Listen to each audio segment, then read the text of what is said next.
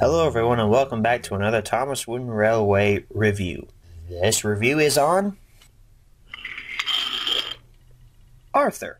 So like in our last TWR review which was Murdoch, um, Arthur was part of the large cast of characters that was introduced in season 7 of Thomas and Friends, along with Spencer, Emily, Fergus, and also Murdoch as well.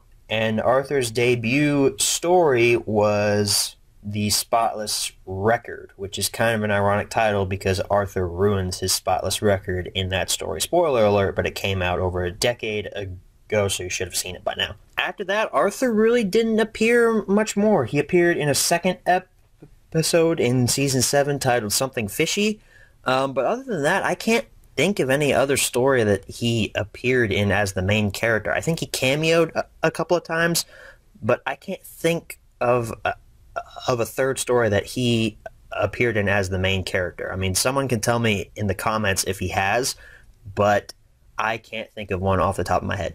So moving on to Arthur's model history, Arthur was introduced in 2005, a year after Murdoch, and he was retired in 2009, a year prior to Murdoch. Why are we talking about Murdoch so much? This is Arthur's review. Come on, man. Anyway, let, us take a look at Arthur's model. Once again, like with Murdoch, uh, we're talking about Murdoch so much in this review. Um, Arthur utilizes the six-wheel bogie setup, as I like to call it, and also his running board is made of plastic. Um, but um, that allows some more detail to be present in his running board, which you can have this extravagant shape right here on the running board going all the way down there with plastic. You can also have these black parts up here with plastic. You can never be able to make those out of wood, which again just uh, adds to the accuracy um, of his model. There's the six-wheel bogie setup. Like I said, the magnet is attached to the back. And then there's his front bogie with the two extra wheels. The magnet cover and the running board are also made of plastic, as well as his uh, very large uh, smoke box. It's it's a little larger than a standard uh, tank engine or tender engine smoke box. And there's this face. It's a it's an accurate face. It could be a little better, I guess, but um, it's pretty good for what we get for um, for what we got. There's this side.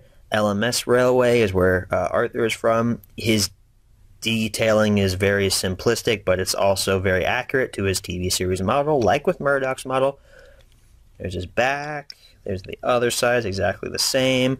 I also really like how they um, added the gray handrail on his uh, smoke box because uh, Learning Curve didn't really have to do that, but they did it anyway, and I really like that they did that.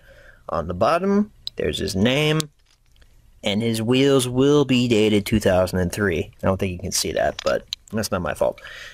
Um, so yeah, there's his side once more. There's his top. I really like how it's got this extra block of wood up here to uh, signify that his boiler is um, uh, in separate pieces. Um, and once again, he's just extremely accurate to his TV series model. So now let's move on to ratings and recommends. I would rate Arthur's model once again a perfect score 10 out of 10 just because of his accuracy to his TV series model. And again, I think that he and Murdoch, I keep talking about Murdoch, but I think that his model is probably one of the best TWR models in terms of accuracy to his TV series uh, counterpart, as well as Murdoch. Stop talking about Murdoch. Would I recommend that you buy Arthur? Yes, I would, because Arthur is probably my favorite character that was introduced in season seven, uh, right behind Fergus, um, because I really like Fergus's uh, persona.